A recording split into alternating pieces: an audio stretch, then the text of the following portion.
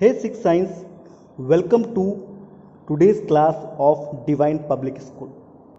हमने पिछली क्लास में एक टॉपिक पढ़ा था चेंजेस कोस्ड बाय हीट आज हम एक नया टॉपिक पढ़ने वाले हैं चेंजेस कोस्ड बाय फोर्स इसको समझने के लिए सबसे पहले हमें फोर्स का मतलब समझना पड़ेगा. फोर्स का मतलब होता है ताकत लगाना किसी को पुश करते समय या पुल करते समय हम लोग ताकत का यूज़ कर सकते हैं.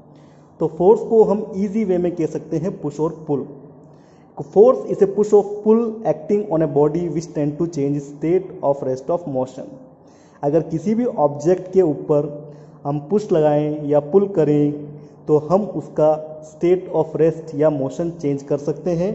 इसका मतलब है, अगर वो स्टेबल है, एक ही जगह पे रखी हुई है चीज़, कोई चेयर और आपने उसको ज़ोर से किक किया, आपने उसको ज़ोर से पुश किया तो वो रेस्ट से किसमें चली जाएगी? मोशन में।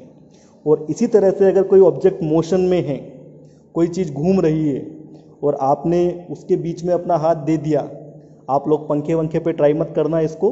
कोई भी धागे से कोई चीज़ बाँध रखी है, आपने उसे आप घुमा रहे हो, या कोई भी चीज़ लटक रही है मोशन में है, अगर आप उसे पुल करते हो या उसके ऊपर फोर्स लगाते हो तो वो मोशन से रेस्ट में हो जाती है। तो फोर्स एक प्रकार का पुश और पुल है तो जिस भी बॉडी पे एक्ट करता है, वो उसके स्टेट को चेंज कर देता है। रेस्ट हो तो उसे मोशन में ला देता है और अगर वो ऑब्जेक्ट मोशन में हो तो उसको रेस्ट करवा देता है। एक फोर्स शेप और साइज़ भी किसी ऑब्जेक्ट की या सब्सटेंस की चेंज कर सकता है। यहाँ पे आपके सामने एक बैलून शो किया हुआ है और उस बैलून के ऊपर लगाया गया है फोर्स उसको पुश किया जा रहा है। जैसे ही उस बैलून को हम पुश करते हैं, जो उसका नॉर्मल साइज़ था, वो साइज़ अब चेंज हो जाता है। क्या लिखा गया है यहाँ पे? जब एक इन्फ्लेटेड बैलून को प्रेस किया जाता है, दो हाथों के बीच में, उसका शेप और साइज़ चेंज हो जाता है।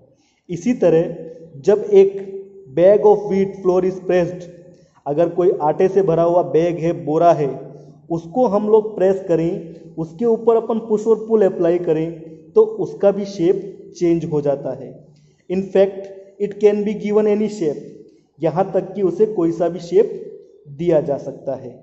जब एक स्प्रिंग को खींचा जाता है स्प्रिंग के ऊपर फोर्स लगाया जा रहा है स्प्रिंग को पुल किया जा रहा है तो भी उसका शेप और साइज़ चेंज हो जाता है।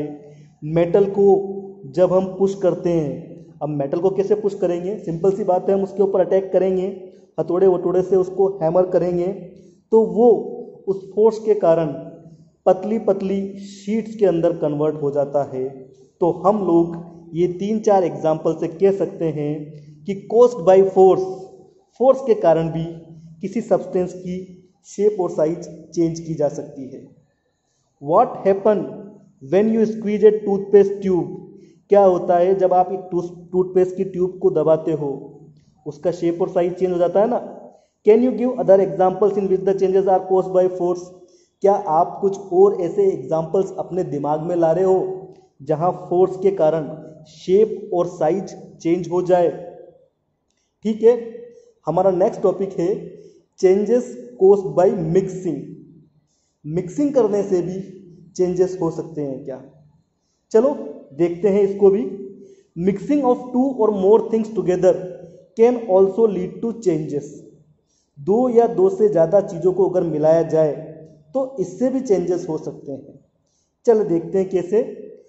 Sugar when mixed with water disappear and the water taste sweets हाँ बिल्कुल। जब हम पानी के अंदर शुगर को मिलाते हैं तो पानी के अंदर शुगर डिसअपियर हो जाती है, लेकिन वो डिसअपियर होते होते पानी को मीठा कर देती है। No solid crystals of sugar are seen there वहाँ पे कोई भी शुगर का सॉलिड क्रिस्टल क्रिस्टल देखा होगा आपने, चीनी के छोटे छोटे जो वो रहते हैं मॉलिक्यूल्स उनको आप नहीं देखते। इस चेंज को कहा जाता है डिसोल्यूशन डिसोल्यूशन सो एक तरीके से, दो या दो से ज़्यादा चीज़ें करने से भी एक तरह का चेंज हो सकता है।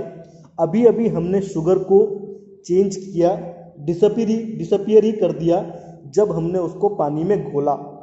इस तरह के चेंज कहलाते हैं डिसोल्यूशन क्या हम उस शुगर को उस सॉल्यूशन से वापस पा सकते हैं? कोई आइडिया है आपके दिमाग में? तो इस तरह से हमने इस चैप्टर में देखा कि हीट से फोर्स से मिक्सिंग से हम कुछ चेंजेस को क्रिएट कर सकते हैं। इनमें से कौन कौन से रिवर्सिबल हैं और कौन कौन से इरिवर्सिबल हैं? आप अपने नोट्स बनाते टाइम ये चीज़ ज़रूर मेंशन कीजिए। यहाँ पे एक चैप्टर और फिनिश हो गया है।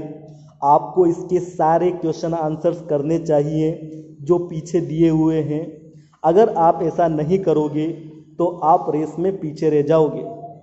सो so, आप अपने नोट्स कंप्लीट कीजिए क्वेश्चन आंसर कंप्लीट कीजिए। और जो क्वेश्चन का आंसर आपको समझ में नहीं आ रहा है या जो टॉपिक आपको समझ में नहीं आ रहा है उसको आप पीटीएम के ज़रिए पूछ सकते हैं। आप व्हाट्सएप में भी कमेंट कर सकते हैं।